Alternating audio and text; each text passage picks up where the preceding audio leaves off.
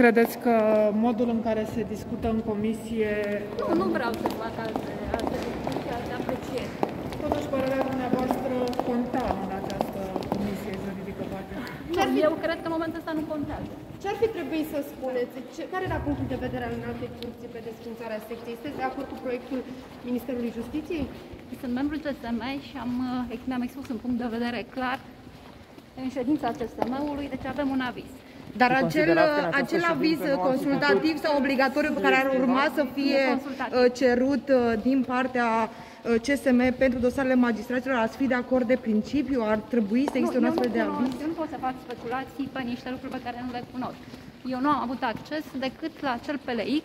De principiu ce v-a pe care ne-am determinat dat atunci să ASM plecați să din dea un ședință? aviz Ați plecat din sală înainte până la de urmă. trimiterea De ce nu ați în rămas să judecată? expuneți această Nu părere? ar transforma acest amendament uh, ce să ne într-un nou parlament, că și la parlament avem astfel Eu de... nu știu și nu are sens să- să mai și spun.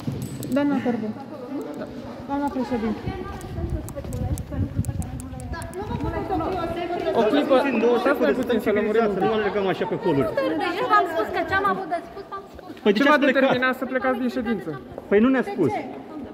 De ce ați plecat? Domnule Mateescu. De ce ați plecat din ședință? Ce v-a determinat să plecați din ședință? plecat din ședință, din ședință nepotrivită pentru statutul unui magistrat.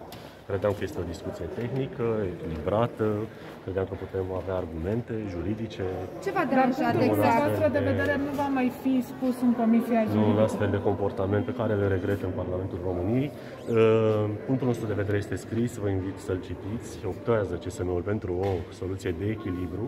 Trebuie încetată polarizarea societății și polarizarea magistraturii. Această Care ar fi soluție soluția de Eu vă echilibru? mulțumesc mult. Care ar Vă fi invit să- soluția de la amendamentele echilibru? depuse de minorități. Avizul CSM. în judecată. Sunteți de acord cu un astfel de aviz? Din păcate, din păcate, am văzut și eu în presă, iată, este loc pentru discuții de garanții.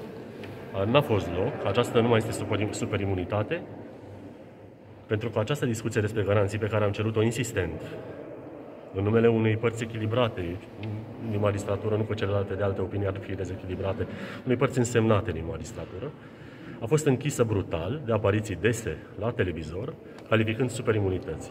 Încă o dată, polarizarea din societate trebuie oprită, situația actuală nu este una fericită, însă nici situația anterioară nu a fost perfectă, în ciuda progreselor fantastice pe care le-au făcut instituțiile Deci sunteți de judiciare. părere că ar Vă oferi o mulțumesc. superimunitate? Exclus.